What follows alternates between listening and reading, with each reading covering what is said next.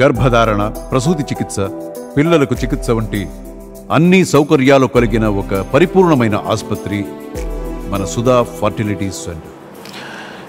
కలకత్తా అత్యాచార ఘటన హత్య కేసుకి సంబంధించి సిబిఐ అధికారులకు కలకత్తా కోర్టులో పెద్ద షాకే తగిలిందని చెప్పుకోవచ్చు. ఎందుకని అంటే మొదటి నుంచి కూడా నిందితుడిగా భావిస్తున్నటువంటి సంజయ్ రాయ్ని సిబిఐ అధికారులు కోర్టులో ప్రవేశపెట్టారు. రిమాండ్లోకి తీసుకోవటానికి కోర్టులో ప్రవేశపెట్టినటువంటి నేపథ్యంలో అతను జడ్జి ముందు చెప్పినటువంటి వ్యాఖ్యలకి అందరూ కూడా ఆశ్చర్యపోయినటువంటి పరిస్థితి. ఆయన విచారణలో తానే అంతా చేశానని. అలాగే ఎవరైతే అతని సైకియాటిక్గా ట్రీట్ చేసినటువంటి డ్రా డాక్టర్లు అతని మానసిక పరిస్థితి ఏ విధంగా ఉంది అని చెప్పి చెక్ చేసినటువంటి డాక్టర్లకు కూడా పూసగుచ్చినట్లు తను ఏం చేశాడు ఎప్పుడు ఎక్కడికి వెళ్ళాడు ఎలా చేశాడు అనేటువంటి అంశాలను ఏమాత్రం భయం బెరుకు లేకుండా చెప్పినటువంటి వ్యక్తి సింపుల్గా కోర్టు దగ్గరకు వెళ్ళి జడ్జి దగ్గరకు వెళ్ళేటప్పటికీ నాకు ఈ కేసుకి అసలు ఏ సంబంధం లేదు. నేను నిరపరాధిని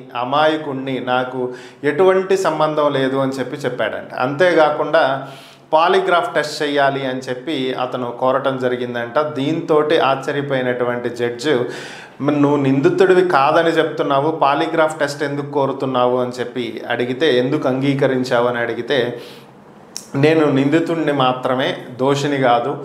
నేను ఎటువంటి హత్య చేయలేదు ఎటువంటి దుర్మార్గానికి నేను పాల్పడలేదు. నేను నిరపరాధిని దీంట్లో నన్ను బలవంతంగా ఇరికించేటువంటి ప్రయత్నం చేస్తున్నారు.